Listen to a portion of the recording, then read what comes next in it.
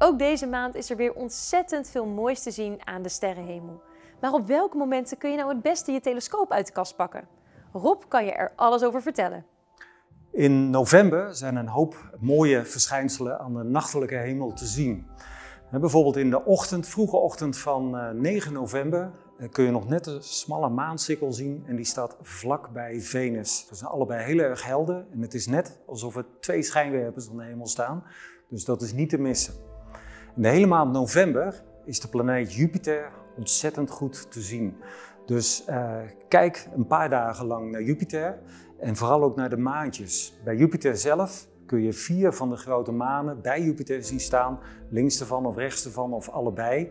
Als je een paar dagen lang kijkt, dan kun je zien dat die maantjes ook echt iedere keer op andere plekken staan. En dan 14 november is een bijzondere dag, want uh, om vijf over één s'nachts, dus in de ochtend van uh, eh, 14 november, dan trekt het maantje Io over Jupiter heen en dan door een telescoop kun je de schaduw van de maan Io op het oppervlak van Jupiter zien.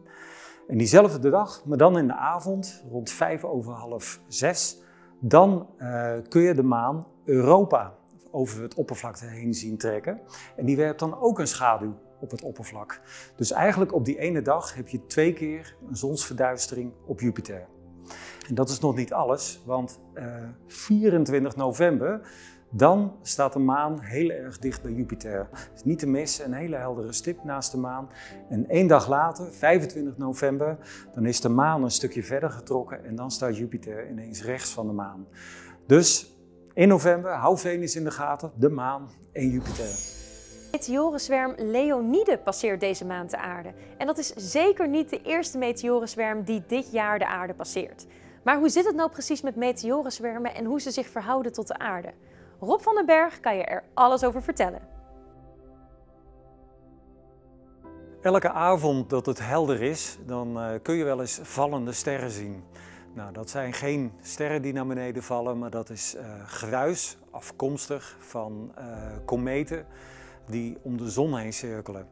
En een aantal keren per jaar dan kun je veel meer van dat soort meteorenregens of meteorenzwermen zien.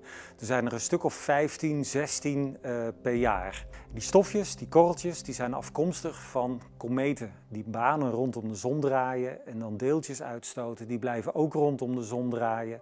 En iedere keer als de aarde dan door zo'n zwerm heen beweegt rondom de zon, dan hebben we dus zo'n meteorenzwerm of een meteorenregen. En dat betekent dat je in een uur tijd wel tussen de 10 en de 20 van die meteoren kunt zien. En dat zijn dan van die oplichtende uh, streepjes aan uh, de nachtelijke hemel. En dan zeggen mensen, kijk, ik zie een vallende ster. En als je dan wil, mag je een mens doen natuurlijk. Nou, die meteoren, dat zijn die lichtsporen die je aan de nachtelijke hemel ziet. Maar wat zijn dan meteorieten? Nou, soms dan is zo'n uh, deeltje zo groot dat hij niet helemaal opbrandt in de atmosfeer. Uh, meestal heb je het over stofjes of zandkorreltjes, maar soms zijn het wat grotere stenen. En op het moment dat ze dan wel de grond weten te bereiken en je kan ze terugvinden, dan heb je het over meteorieten. En hier zie je dus een aantal voorbeelden liggen. Die stenen hier, dat zijn dus deeltjes afkomstig van, uh, van kometen die je tot op de grond gehaald hebben. En dan hebben we het over meteorieten. En deze maand komt dus de meteorenzwerm Leonide voorbij. De Leonide bereikt zijn maximum op 18 november en het beste kijkmoment is om 5 uur s morgens. Er komen dan zo'n 10 meteoren per uur voorbij en in combinatie met andere meteoren uit bijvoorbeeld andere zwermen of sporadische meteoren kan dat neerkomen bij een heldere hemel op het zien van zo'n 20 tot 30 meteoren per uur. De meteoren van de Leonide gaan hartstikke snel. Ze hebben soms wel een snelheid van 254.000 km per uur. En denk je nou, ja, dat wil ik niet missen? Dan raad ik je aan om een donkere plek te zoeken. Want op een plek waar het donker is, kun je soms zo'n vier keer meer meteoren zien dan op een plek waar veel lichtvervuiling is, zoals bijvoorbeeld dichtbevolkt gebied. Best vaak lees je in de media berichtgeving over asteroïden die dicht bij de aarde zijn. En ik schrik er altijd van, want dan denk ik, hoeveel zicht hebben wij nou eigenlijk op de bedreigingen uit de ruimte?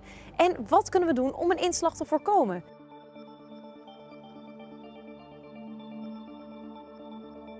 Wat is een asteroïde nou precies? Ja, de meeste mensen zeggen asteroïden, maar eigenlijk is die term niet goed, want dat betekent iets als een klein sterretje. Dat zijn het niet.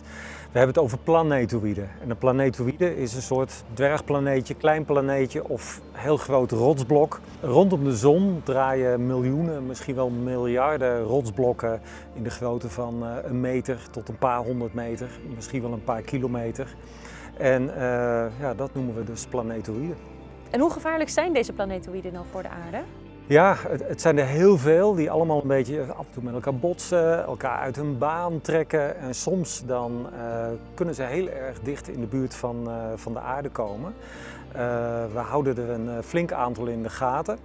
En we hebben berekend dat we de komende 100 jaar veilig zijn voor rotsblokken in de orde grootte van een paar honderd meter of, of groter. Maar het gaat wel een keer gebeuren. Hoeveel zicht hebben we op de dreigingen in de ruimte? Ja, die, die grote rotsblokken houden we allemaal uh, in de gaten. Er zijn er misschien 20, 30 die echt heel groot zijn, waarvan we weten dat ze af en toe in de buurt van de aarde komen. Dat kunnen we redelijk goed voorspellen. Uh, die kleinere zijn er natuurlijk veel meer, die houden we ook in de gaten. En de nog kleinere, zeg 25, 50 meter, die zien we niet altijd aankomen. Uh, we worden dan wel eens verrast. In 2013, tien jaar geleden, uh, kwam er ineens uit het niets een rotsblok van een meter of 50 boven het zuiden van Rusland, Chelyabinsk. En niemand, geen één waarnemingspost heeft die aanzien komen. En die heeft dus voor behoorlijk wat schade en ook gewonden gezorgd. Wat is de eerstvolgende grote dreiging voor de aarde? Ja, er zijn een paar grote planetoïden die we nu in de gaten houden. Dat is Bennu. Uh, Bennu die, uh, ja, die komt over 160 jaar heel erg dicht bij de aarde. Dat kunnen we nu nog niet goed voorspellen, maar naarmate we dichterbij komen kunnen we het steeds beter voorspellen. En dan hebben we nog zo'n planetoïde met de mooie naam Apophis. En daarvan weten we dat hij uh, misschien over 100 jaar in de buurt van de aarde komt. Uh, eerder dachten we nog dat hij nog veel eerder misschien op de aarde zou inslaan, maar uh, je blijft rekenen, je blijft kijken, je blijft meten. En daarvan weten we dat we de komende 100 jaar veilig zijn voor dit formaat rotsblokken. Wat gebeurt er als er nou wel zo'n groot rotsblok op aarde inslaat? Ja, als zo'n uh, steen van een meter of 500 zoals Bennu inslaat uh, ergens ter hoogte van Nederland, ja, dan is half Europa is gewoon veranderd in een krater. En, en gewoon een heel continent is daarmee onleefbaar geworden. En de rest van de aarde ja, zal te maken hebben met enorme klimaatsverandering. Dus zelfs een steen van een paar honderd meter heeft al een enorme impact. Kunnen we nog iets doen wanneer er zo'n enorm rotsblok op de aarde afkomt? Ja, je hoopt dat je, het, uh, dat je een paar jaar de tijd hebt op het moment dat je dat ontdekt. Uh, dan zou je er een aantal raketten naartoe kunnen sturen. Uh, die kan je daarop laten botsen, als ze niet zo heel groot zijn. We hebben dat precies een jaar geleden een keer geprobeerd. En daarmee hebben we gezien dat we de baan van zo'n rotsblok een klein beetje kunnen veranderen. En dan in de hoop dat hij net de aarde gaat missen. Maar heb je een grote rotsblok, ja, dan moet je meer doen. Dan moet je misschien meer botsingen doen. Of je moet misschien wel hele zware bommen erop laten ontploffen. Eigenlijk het enige wat je kan doen is hopen dat je hem een duwtje kan geven, zodat hij net de aarde mist. En hoe vaak komt het nou voor dat er echt een heel erg groot rotsblok op aarde inslaat? Ja, uh, elk jaar mag je wel rotsblokken verwachten van een, van een aantal meters uh, groot, die niet opbranden in de atmosfeer en die dus ergens op de aarde uh, neerslaan. Um, maar als je bijvoorbeeld denkt aan het rotsblok wat een einde heeft gemaakt aan de dinosauriërs 66 miljoen jaar geleden, dan heb je het over een rotsblok van 10, 15 kilometer groot. Dus dat kan ook nog gebeuren, maar daarvan is de kans één keer in de 70 miljoen jaar. Dus als je pessimist bent zou je kunnen denken dat het binnenkort weer tijd is. Maar goed, dat is statistiek. Uh, hoe groter, hoe zeldzamer, dat weten we in ieder geval. Maar dagelijks vallen er wel hele kleine steentjes en stofjes uh, op de aarde neer.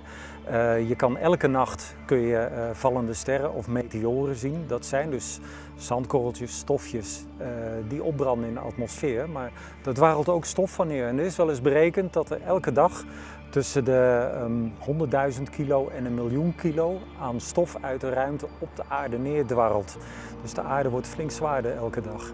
Ik ben toch wel weer een beetje gerustgesteld dat ik niet binnenkort uh, zal uitsterven door een enorm uh, rotsblok dat op me neerknalt. Je weet het nooit, maar laten we maar gewoon doen of er niks aan de hand is. Dat is het beste.